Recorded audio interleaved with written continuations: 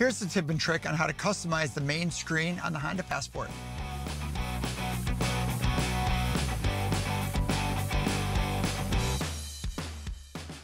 You have this beautiful touchscreen with what looks like eight different apps on it.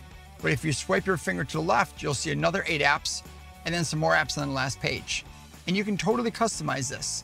So if you like the My Honda Music app on the main page, you simply press that app and with your finger, you can drag it all the way to the front and let it go wherever you like.